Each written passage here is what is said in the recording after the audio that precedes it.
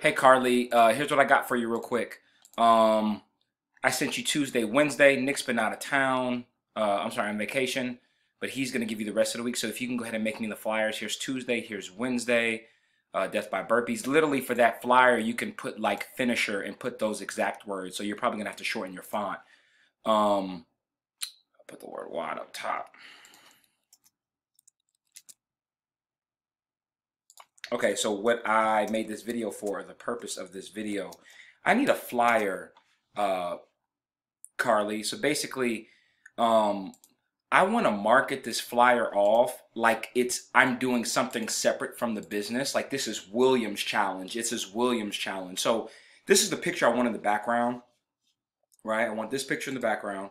And a, a sample of this is this old flyer that I had, this online challenge. Like not that it has to look like this, but I'm just kind of giving you an example. Um, this has nothing to do with Savoy, even though it technically does. So what I'm looking for is basically picture of me in the background. The title is going to say 14 day at home challenge, right? 14 day Savoy Fitness at home challenge. Just say at home challenge.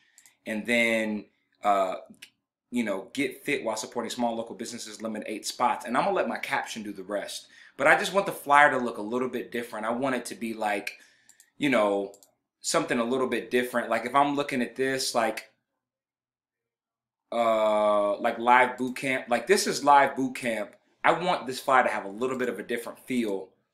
And the main thing that's going to do that is this picture of me. I want people to think like this is Williams online challenge because I'm trying to hit people that are not Savoy related.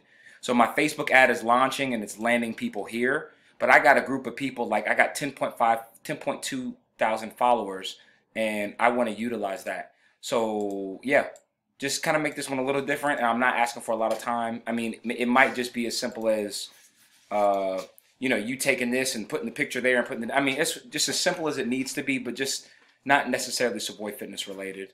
Um, even though you can put the Savoy Fitness and Top Dog logo on it. Uh, I hope I didn't confuse you. Thank you.